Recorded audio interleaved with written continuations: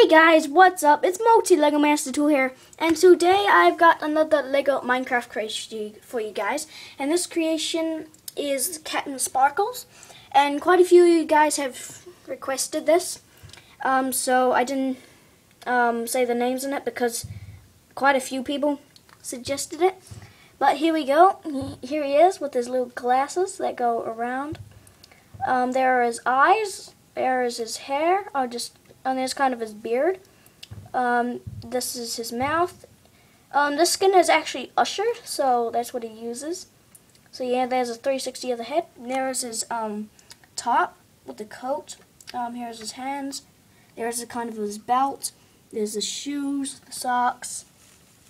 Um, and yeah, thank you guys so much for 100 subscribers. It means a lot.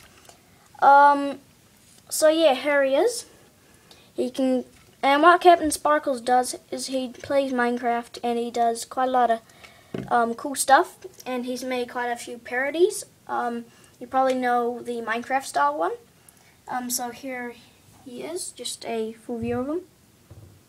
Um, yeah, so the dimensions are 8 studs by 8 studs. Um, and then this is 7 blocks high. This, this bit is 27 blocks high. I mean, 25 blocks high and the arms are just nine blocks down um and yeah hopefully you guys like this video. This is my 100 subscribers special. Um and yeah thank you guys so much for watching this video. Don't forget to rate comment subscribe. Um yeah even favorite and do whatever. And I'll see you guys later with another Lego creation